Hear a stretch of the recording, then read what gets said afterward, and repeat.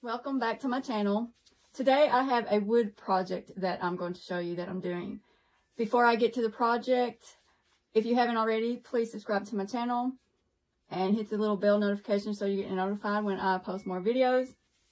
Like the video, give me some thumbs up and comment and tell me what you think about the project when you see what I'm going to do.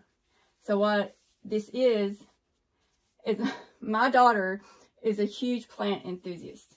And I was looking for something for her for Christmas. And I found some propagation stations on Etsy. And they were gorgeous, beautiful propagation stations made using wood.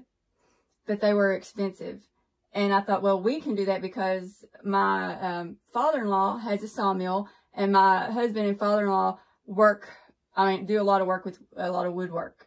So my husband, I talked to my husband about it and he found a piece of black walnut, that's what this is, that he had, and then a piece of soft spine, uh, soft pine that he had, and he took them to the sawmill and he planed them, and he used drill bit to drill the holes in them, and I ordered these tubes from Amazon to fit in here so that she could put her plants in here. She's got a lot of plants right now that she's propagating, but they're in cups.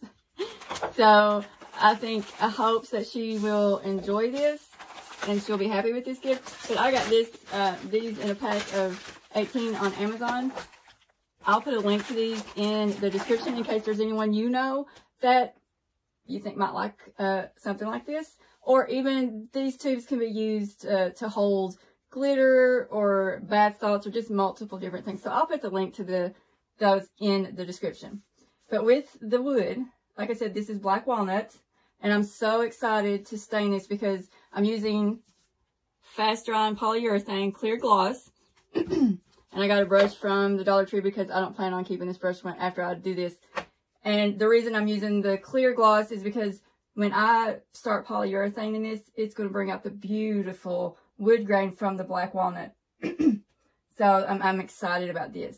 Now the soft pine, I'm not going to stain it because I want to leave it her to decide if she wants it clear gloss or if she would want to stain it like a Jacobean or a weather gray. So I'm going to leave that up to her and we can stain it after she opens it for Christmas.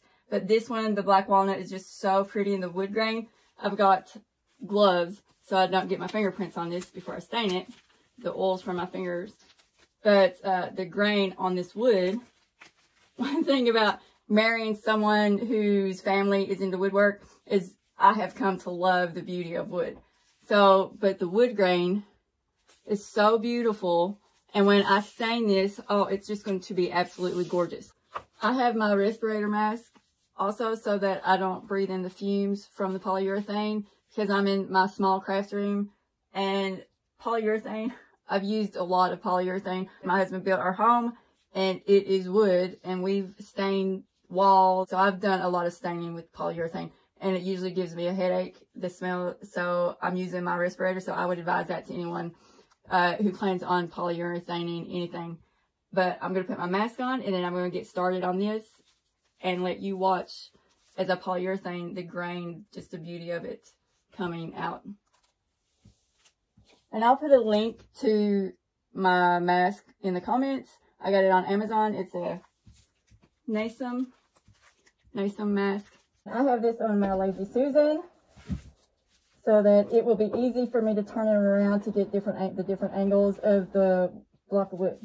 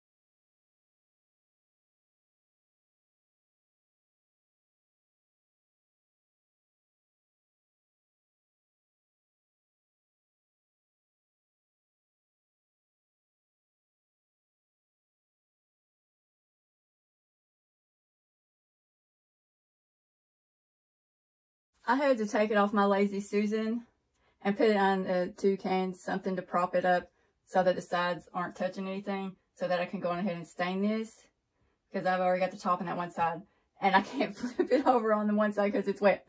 So I had to prop it up. But um, you don't need much of this to put on that. And where it's warm in our home, it should just take a few hours to dry. And I don't think I'm going to be doing a second coat. I don't think it'll need it. But I will wait a, a couple days to wrap it because, you know, the smell from the polyurethane.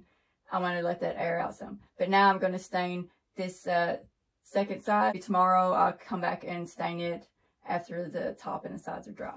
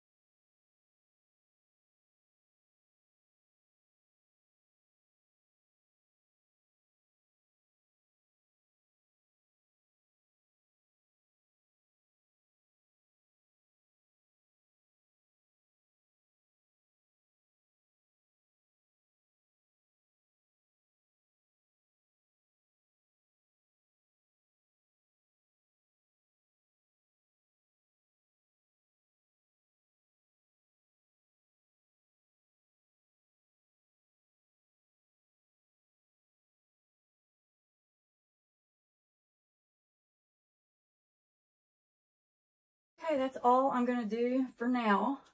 I'm going to, I will let this dry and I will come back after it's dry and I will give you a close-up and show you the gorgeous wood grain and what it looks like.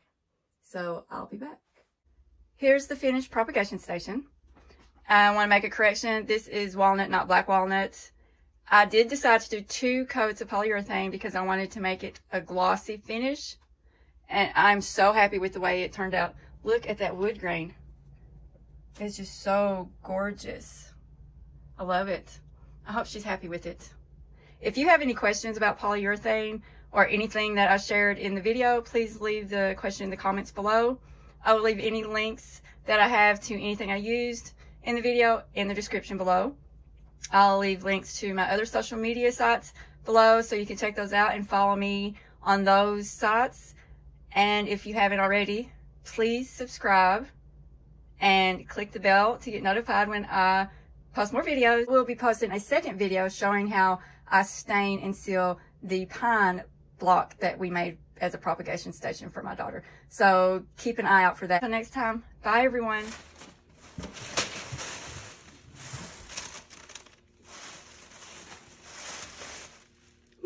Is that for propagation? Yes.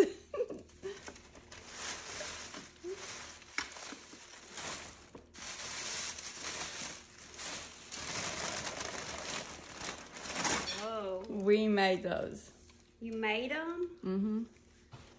That's why I had the door shut for three days because I polyurethane them and stained them and stuff. That's pretty. That's walnut.